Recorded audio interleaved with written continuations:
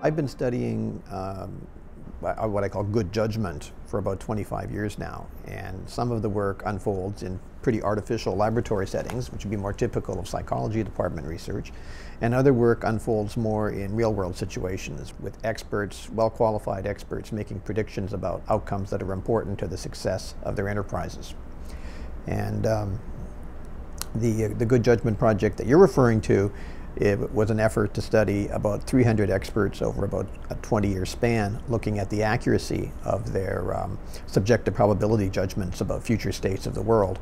Sometimes those future states of the world might be financial markets, sometimes they might be states of economies, sometimes they might be whether leaders rise or fall, whether governments rise or fall. Um, a, a wide range of issues. We found that uh, experts who had certain styles of thinking uh, were better adapted uh, to deal with a rapidly changing world than experts with other styles of thinking. And we, we called the better adapted experts foxes, and we contrasted the, these foxes with hedgehogs.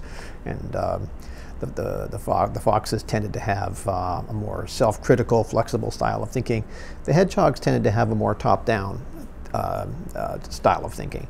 Um, there's an old epigram that captures the hedgehog fox distinction that goes back about 2,500 years in Greek philosophy. It says that the um, the fox knows many things, but the hedgehog knows one big thing. One of the distinctive features of the best forecasters in my work on expert judgment was they, their, their, their greater ability and willingness to answer the question, what would it take to convince you you're wrong? Uh, in, in, philosophy of science terms, they were, they were, they were what are sometimes called falsificationists. Uh, they, they, they, they, they believed in the importance of um, being specific about boundary conditions on knowledge. It's certainly one that pops up in the philosophies of a lot of very fam famous and prominent business executives as well. I mean, the, the notion of uh, constructive confrontation, for example, is one of the guiding precepts of corporate culture at Intel. The finding that, that people found most surprising from my work on expert judgment, in particular the work on expert political judgment, was that there was somewhat of an inverse relationship between how accurate experts were and how famous they were. Um, that uh, the media tended to be drawn to experts who, who uh, offered very uh, short and sharp sound bites.